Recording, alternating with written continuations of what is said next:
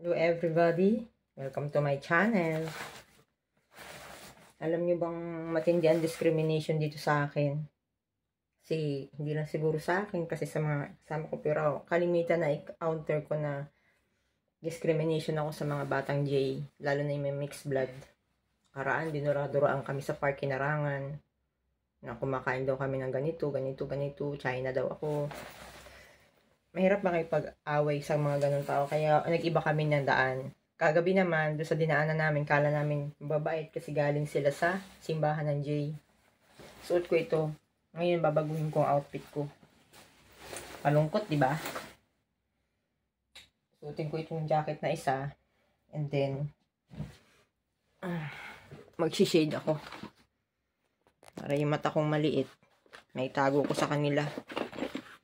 Parang gusto ko nga ibarangay eh. I-report ba sa Beersheba Municipality na we are Filipino. Mga tao dito, nami-misinterpret nila na China kami. Ano bang kasalanan ng China sa kanila? At masyado nung nilang discrimination.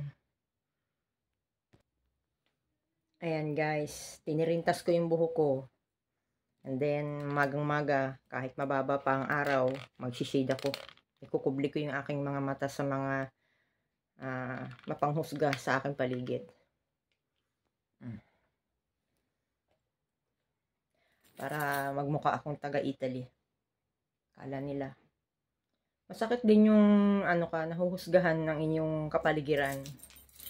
Hindi ko naman kasalanang isilang ako na ganito ang itsura ko Mm, may lahi sigurong Chinese ang aking lolo.